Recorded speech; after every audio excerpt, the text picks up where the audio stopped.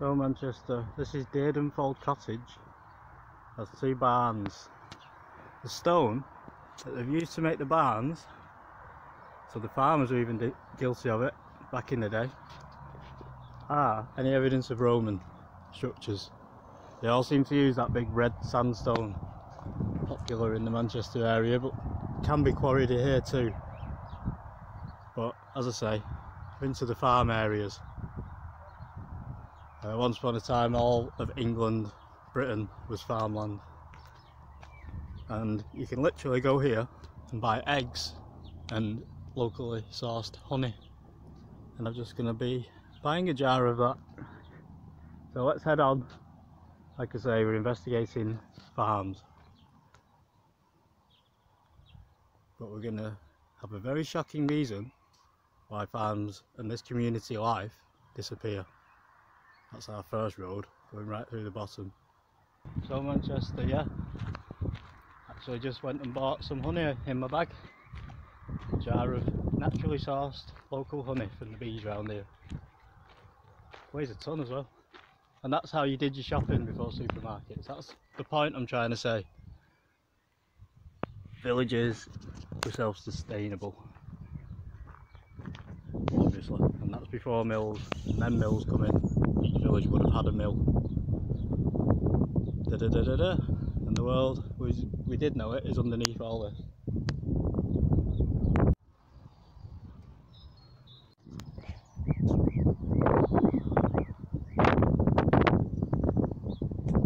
That's what ruined it all.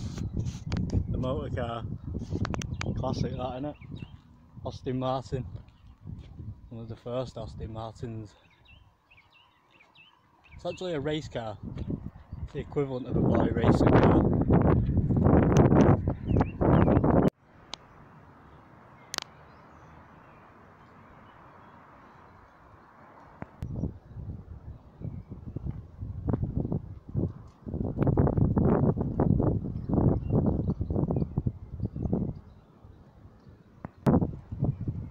Seventeen seventy three that house background is the old workhouse. That's a chapel and school. Schools are a much later addition to the village. And if you understand what I'm trying to see, it's all mixed in. The old village road there. And the old village buildings. And as village life falls out of favour because young people start to move to the big cities. It saw the end of this community life and life as it used to be up to 300 years ago in England. Most villages, well all villages, would have had the farm structure, some local cottages for people who worked also in the area, like I say they're self-sustainable, but they usually contain a religious site of religious worship. A church is the modern version, but back in the day, obviously, a lot of buildings in England, before the Romans this, so this is 2,000 years ago, uh, they were actually round. We actually had round houses, it's a known fact. Stonehenge is round. Um, the Romans come, invade. We have a section of time where the Romans live here when they leave, we seem to go to square buildings. So we, we seem to have taken their ideas, you know, like, so we've knocked down a lot of Roman things in the past and rebuilt things that we need, but in not in roundhouses, you see. So we've copied the styles that we've learned, possibly from the Roman era. So that's um, interesting.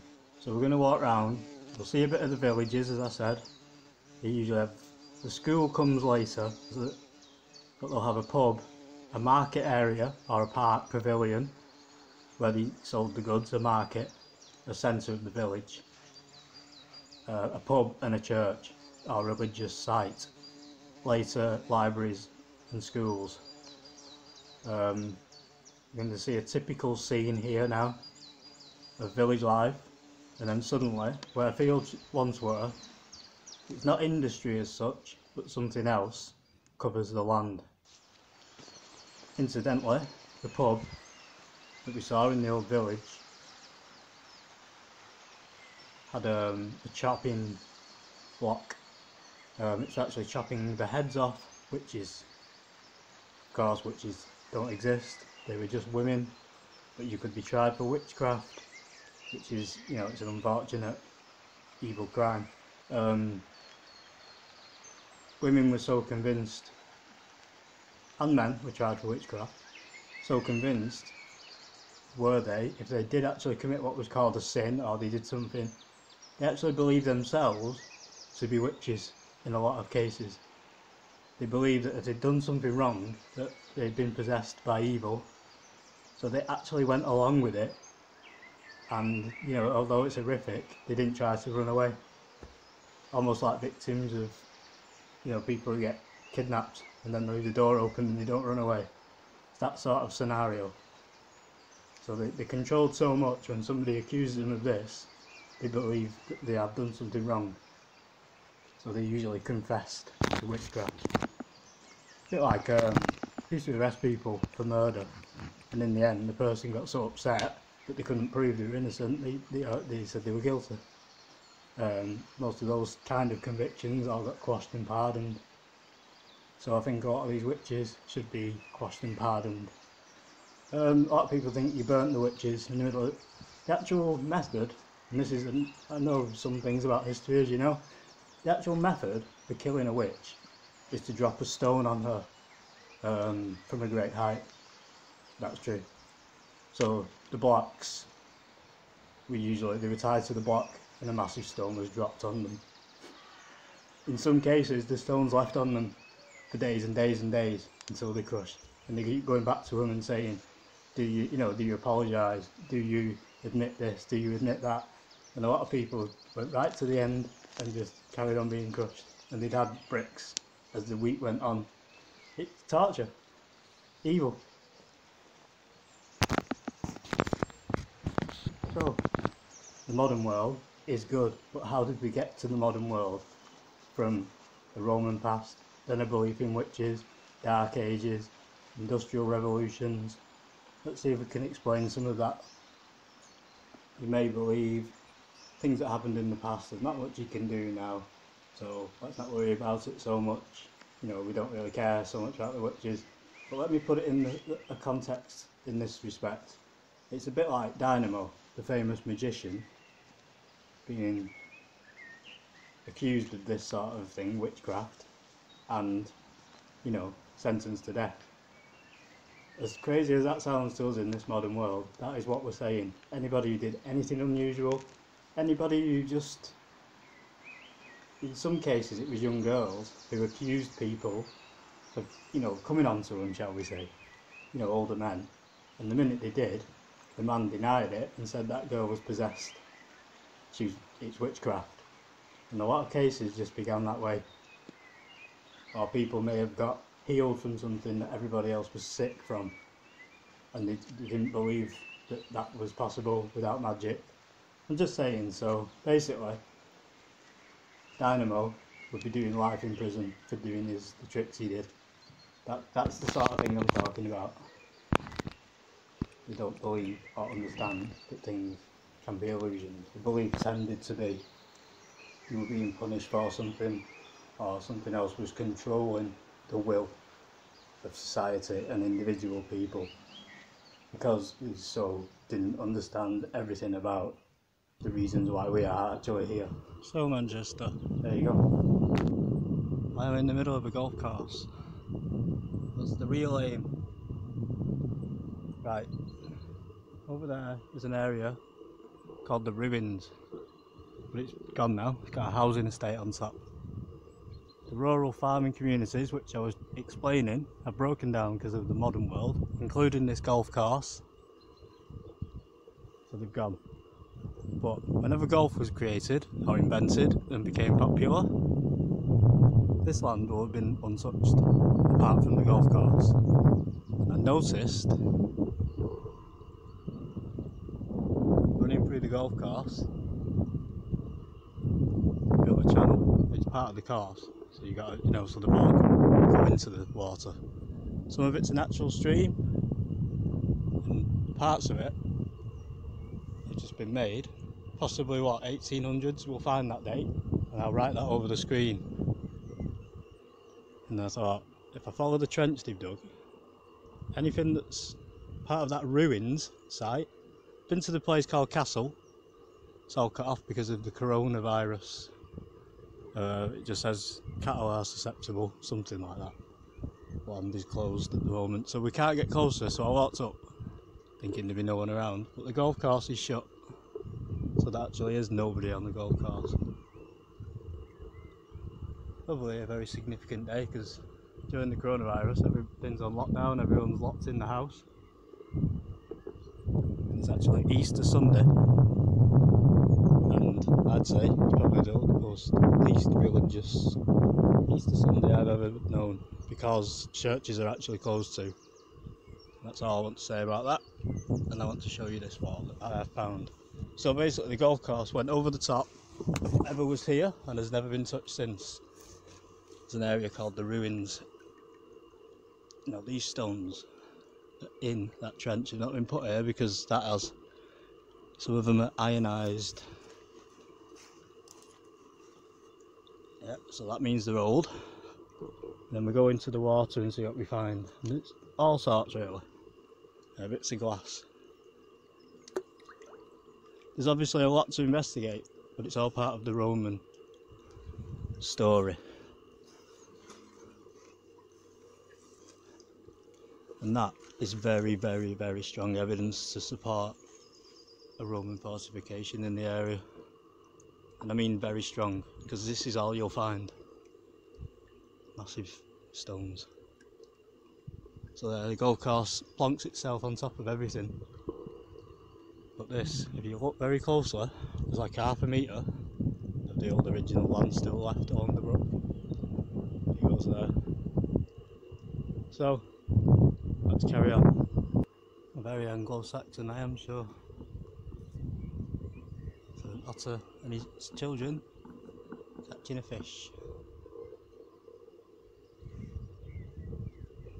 That's an artist, he makes them with chainsaws. I've seen them before.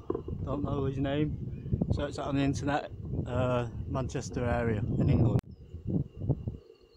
And the third most interesting thing. The green is in there too, so that's brick.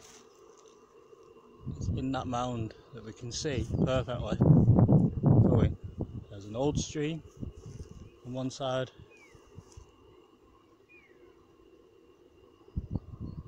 Brookhouse Stream. Another one. Big gap and a wall in the middle. Another stream. Another one. So some of this is part of the golf course. That is older. Pre-golf course and it's been protected. So whatever's in there was in there a long time ago and still is. And I can see green brick wall. See the top would go, but your foundations stay strong, don't they? And building straight lines is a Roman thing. We'll piece it all together, you know, this one day. Not just something where I lost my marbles. Seriously. Um, the weather was too extreme. We had sort of winter hit when I decided to do this because I thought I've got short days, I don't have to travel as far but these places can be quite you know they don't the weather don't like humans around here in the winter put it that way but we will suss out the Roman thing and link it to Manchester like a canal like we're doing with everything else We'll see when we get there, when it's all completed. So then we'll have an infrastructure of Roman leading all the way from Castleton and Castlefield. We'll understand more because Chadderton's got some Roman stuff too I have to look into. But to me it's just an unusual mound to be there. Carries on straight all the way. And you can see it's old and them trees are old. Possibly some of these things are older than me. well, a lot of things around here will be older than me. So, I've been a bit sneaky today. I'm going to rush through what I've got to say. I'm actually investigating Roman stuff as well. Uh, the church, the Christian church, 1577, and it's as old as 1480. The area is reported to be a massive Roman area, and I found loads of red stone structures that have been rebuilt. The farm we started on, 1488, grade 2 listed, and is one of the oldest buildings in Manchester. The car was an Austin A35, 1957. The Unitarian Ainsworth Workhouse as old as 1715. Harwood Golf Club, 1926. Four local shopkeepers founded this par 70. It means you've got a 70 par, small area golf course. on the edge of the Pennine Moors. Cockey Moor translate into Cosium or cock meaning red earth. That is a Roman word. Golf's origins are from Scotland in the 1400s, but recent finds may be that it's a Roman sim similar game comes from Rome. It's actually a Middleton parish, Ainsworth. yeah, the word comes from Cockamore and it's Celtic. So once again, I'm feeling Roman history is right under my feet. I'm deep into around 1190 and 1210 AD. That's the current time I'm reading uh, land ownership documents. Uh, if I'm right, it's big what I've found, very big. Uh, I've got to keep it top secret and I'm not messing about. I'm studying Oxford and Cambridge documents at the moment so we can find out the old history of all these things.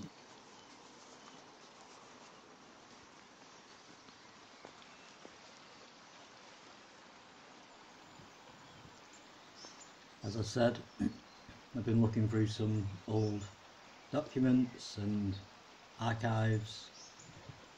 Uh, people of Ainsworth, it's a quiet rural village now and there was an industrial revolution um, but there was industries around this area, weaving, mining, quarrying etc. Uh, the villagers would often work outside the village. Uh, they'd walk along Ainsworth Hall Road and Wood Lane to get to the mills on the new road that's what we're saying, new roads for the road, for the cars. Uh, down Red Lane and factories on Red Bridge. Now Red Lane appeared because red stone has been dug from underneath on Red Lane. Uh, and that's what we can see evident in this brick that I keep saying is popping up everywhere. It's also evident as the chalk dust is used for the concrete, so it's all, it's a red dusty concrete as well. Um, it's actually the Church of Middleton, the Diocese of Middleton, actually owned Ainsworth Village. It was, they had a big dispute over the land of Cockey Moor when they were searching for old artefacts from the Romans. The church is around 1400 on that site.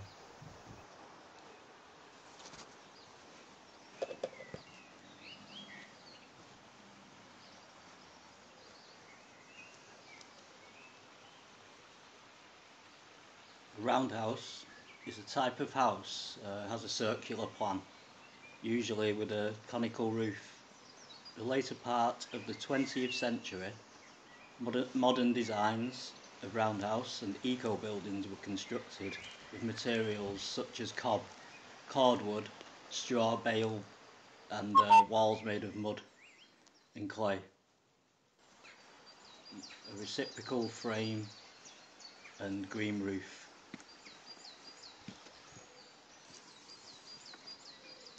The roundhouse was the standard form of building uh, in Britain from the Bronze Age throughout the Iron Age. In some areas, well into the sub-Roman period. People built walls made of either stone or wooden posts joined by wattle and daub panels. They call it wattle and daub, it's a, like a plasterboard. Uh, topped with a conical thatched roof. These ranged in size, uh, some were less than 5 metres in diameter and some over 15 metres in diameter, quite large. The Atlantic roundhouse, broch and wheelhouse styles, they were used in Scotland.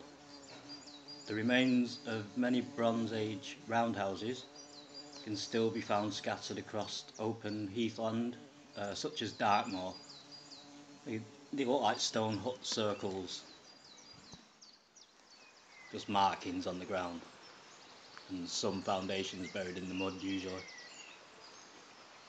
Early archaeologists determined what they believed were the characteristics of these structures, um, so they gave them certain rules if you found one, by the layout of the post holes in the ground. Although a few timbers were found preserved in bogs, the rest have been sort of postulated is the word, uh, by experimental archaeology. So they've been brought to life by archaeologists, um, which has tried different techniques to demonstrate the most likely form and function of the buildings. For example, experiments have shown that a conical roof with a pitch of 45 degrees would have been the strongest and most efficient design.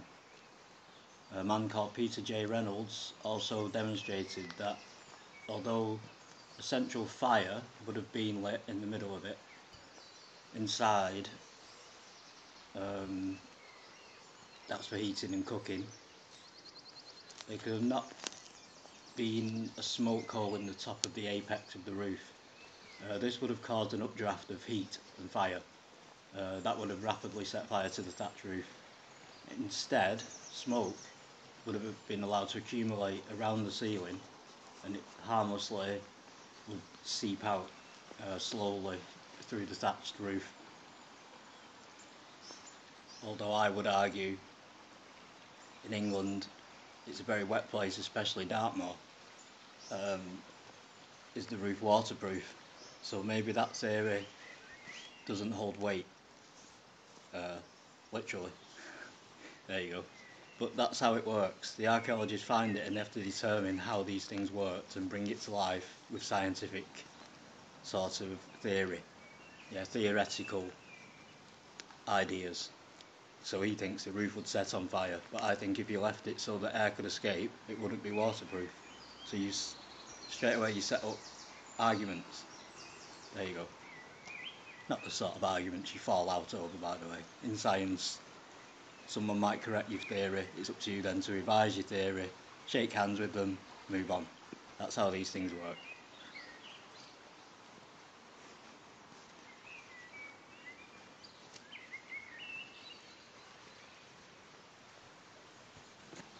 Uh, much of the earlier superstition was confirmed or denied at a stroke uh, by the, ex the experts debating these things. The finding of a set of Bronze Age, Bronze Age roundhouses at the archaeological dig at Must Farm in Cambridgeshire, that's in England, where samples of all the materials from posts to walls, roofs, everything uh, were all found.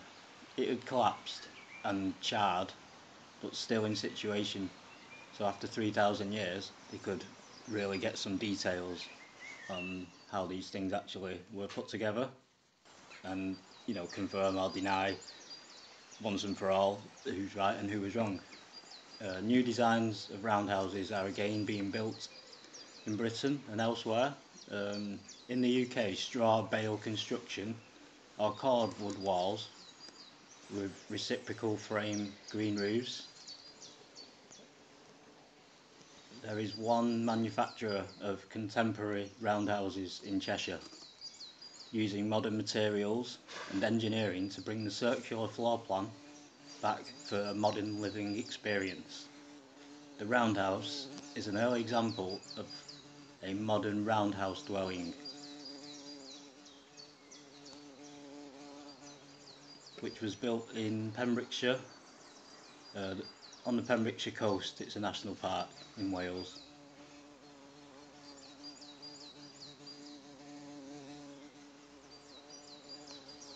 Uh, you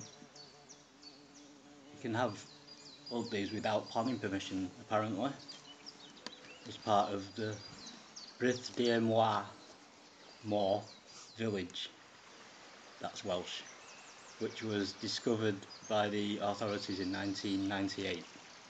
It is constructed from a wooden frame of hand-cut Douglas fir forest thinnings with cordwood infill and receptacle frame turf roof based on a this is hard to actually explain. It's based on a permaculture principles uh, mainly from local and natural resources that means you can keep rebuilding the house. So like I say if the roof wasn't waterproof maybe you have to replace it every two years then that made to last forever. And that's because it's from the local surrounding woods you get the materials anyway. So it's not a it's not about cost it's more about the labour back in the day. And you had time to do the labour back in the day.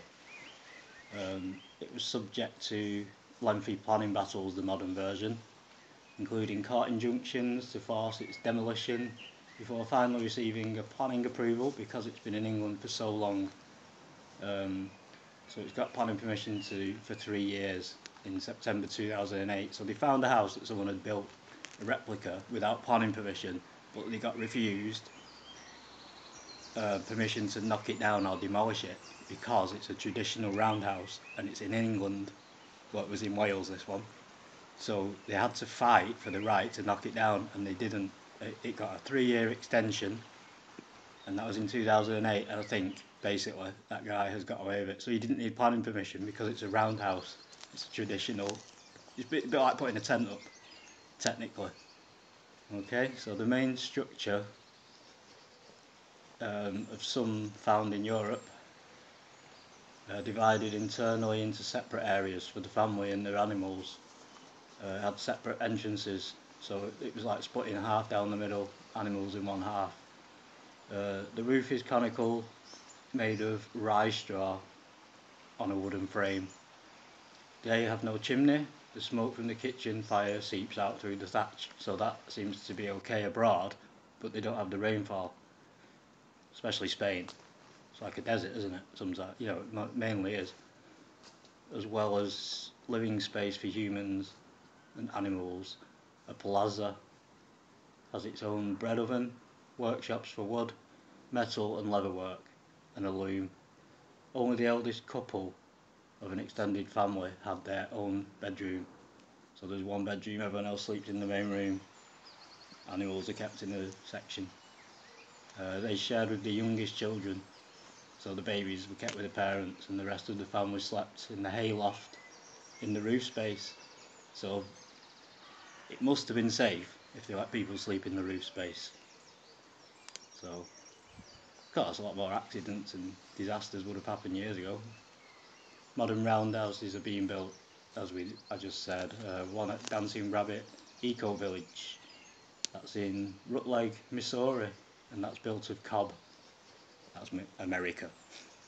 Okay, peace out Manchester, and an update, or part of the Roman playlist we're back on. It's easier round here to look for things you see, because I'm not going to keep mentioning coronavirus, but everybody's aware of it, that we're all locked down. So I have to find areas that are open and very few people, but still fall within a distance from my house where I can consider it exercise. So there you go. If you're into science, you know, you're pretty safe anyway. But I'm not going to give people tough advice. It's just I know how to... I even stay downwind of people. You know, I make sure they're downwind of me. So that anyone sneezes, it doesn't blow towards me. So there you go. That's it. That's a tip, by the way. Try and always stay out the window of other people's breathing and things like that. Okay, peace out Manchester.